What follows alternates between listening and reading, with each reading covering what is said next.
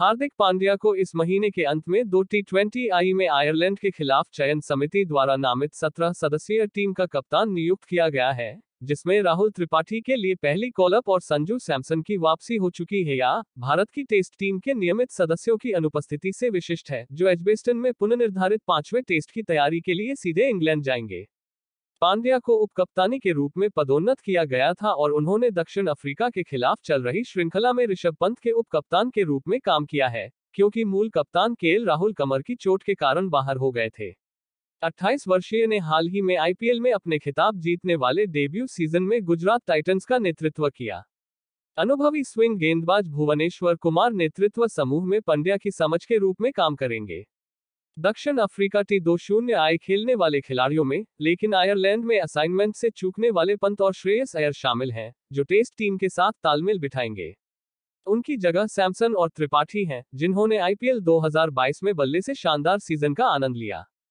सैमसन ने एक एसआर पर तीन सौ चौहत्तर रन बनाए और टूर्नामेंट के फाइनल में राजस्थान रॉयल्स की कप्तानी की, जबकि त्रिपाठी अन्यथा भूलने वाले सीज़न में अग्रणी रोशनी में से एक थे। सनराइजर्स हैदराबाद ने एक एसआर पर 413 रन बनाए।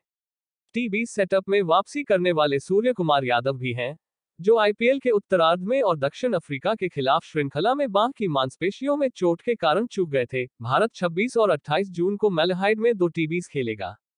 वीवीएस लैक्समैन दौरे पर मुख्य कोच के रूप में काम करेंगे और उनकी सहायता शितांशु कोटक, बल्लेबाजी कोच सैराज बहुतुले, गेंदबाजी कोच और मुनीश बाली क्षेत्ररक्षण कोच करेंगे। स्क्वाड में Hardik Pandya captain, Bhuvneshwar Kumar vice captain, Ishan Kishan, Ruturaj Gaikwad, Sanju Samson, Suryakumar Yadav Venkatesh Iyer Deepak Hooda, Rahul Tripathi, Dinesh Karthik wicket keeper Yuzvendra Chahal. Axar Patel, Ravi Bishnoi, Harshal Patel, Avesh Khan, Arshdeep Singh, Umran Malik. Video अच्छा लगे तो like और subscribe ज़रूर करना video देखने के लिए धन्यवाद।